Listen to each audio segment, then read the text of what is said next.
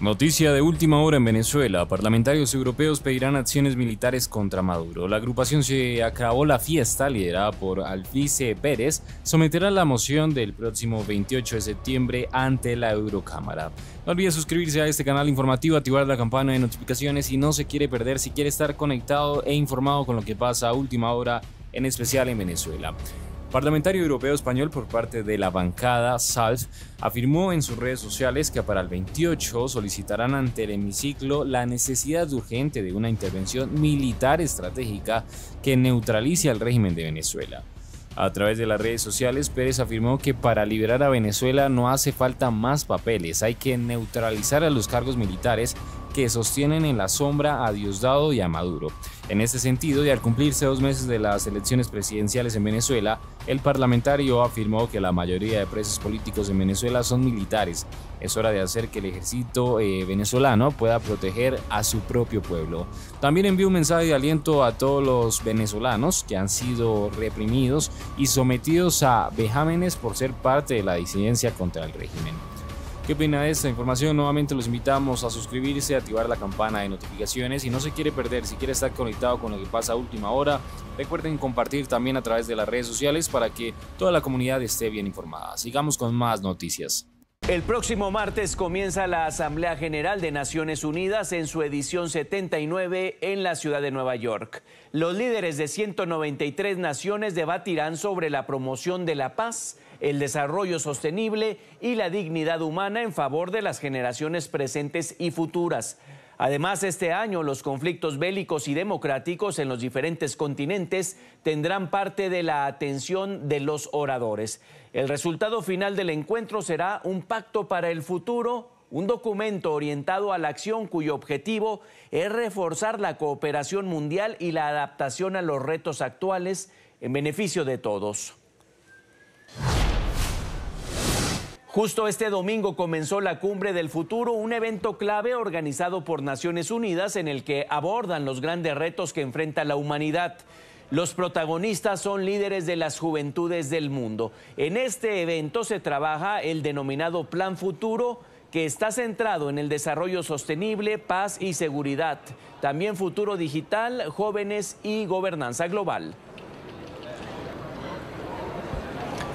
En la apertura de la reunión, el secretario general de las Naciones Unidas, Antonio Guterres, pidió renovar el compromiso con la cooperación internacional. Señaló que el mundo se necesita volver a encarrilar. Estamos aquí para rescatar al multilateralismo del abismo.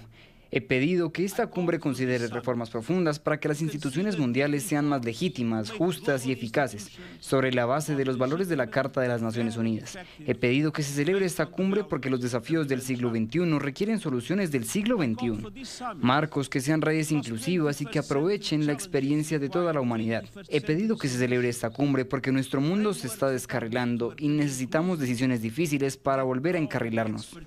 Dirigiéndose a los líderes de la cumbre del futuro, el embajador de Israel ante las Naciones Unidas, Danny Dannon, se refirió al conflicto actual de su país con el grupo terrorista Hamas en Gaza y Hezbollah en el Líbano. Aseguró que Israel utilizará todos los medios para proteger a su pueblo. No do we it. Seguimos enfrentándonos a incesantes ataques de actores no estables que amenazan nuestra propia existencia. Mientras nos reunimos aquí hoy para hablar sobre el futuro, cientos de cohetes son lanzados contra nuestra población civil. Permítame ser claro, somos una nación pacífica, no buscamos la guerra ni la deseamos. Sin embargo, no nos quedaremos de brazos cruzados mientras nuestro pueblo es atacado. Es imperativo que los Estados miembros hagan frente al antisemitismo donde quiera que surja, ya que solo mediante la acción colectiva podremos lograr un cambio duradero. En pocas palabras, necesitamos algo más que palabras y declaraciones. Necesitamos una acción inmediata y contundente de todos los países y de todas las personas. En este encuentro, el presidente de Brasil, Luis Ignacio Lula da Silva, se refirió a la necesidad de impulsar la lucha contra el cambio climático a través de instituciones internacionales. Lula exigió más acciones para mantener al planeta a salvo de la crisis ambiental.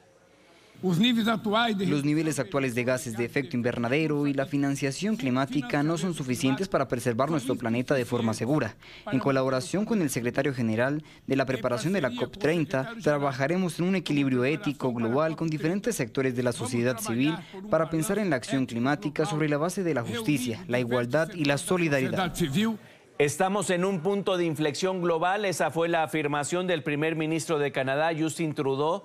Hizo un llamado a la comunidad internacional en la cumbre del futuro de la ONU sobre la protección de los derechos de las mujeres, los derechos LGBTQ y los derechos de los indígenas.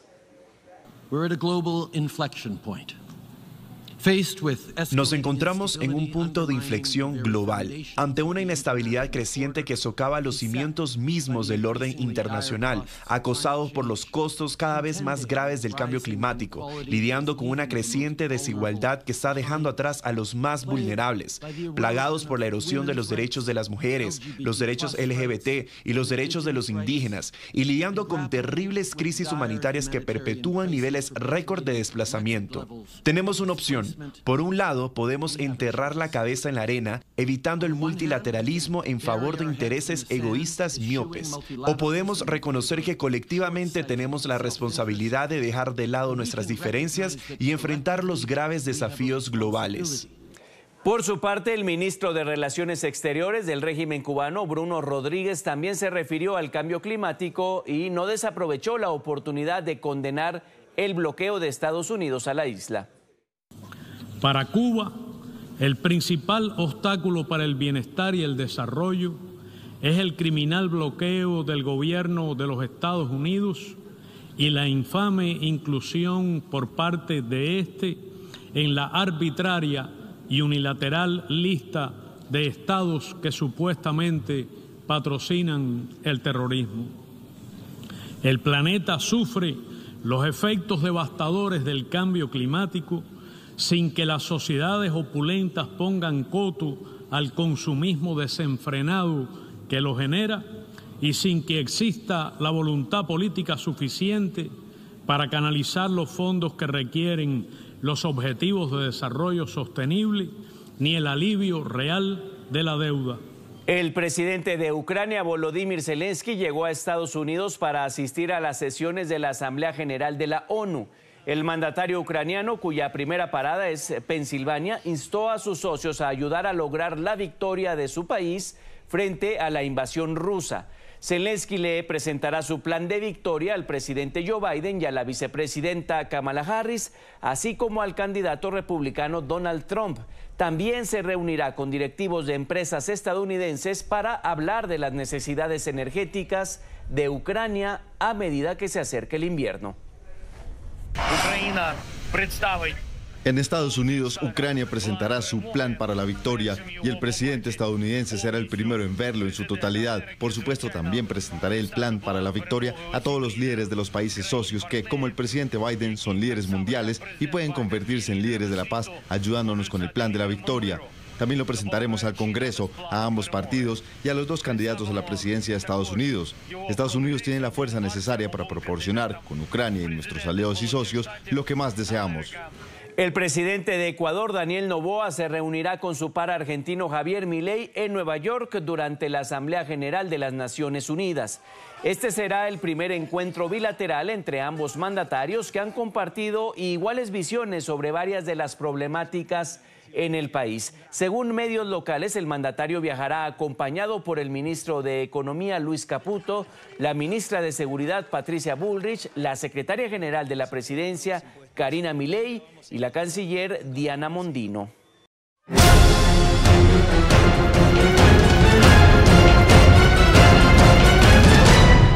Si no te quieres perder de los últimos acontecimientos que pasan en el mundo, suscríbete y activa la campana. Somos Noticias al Día.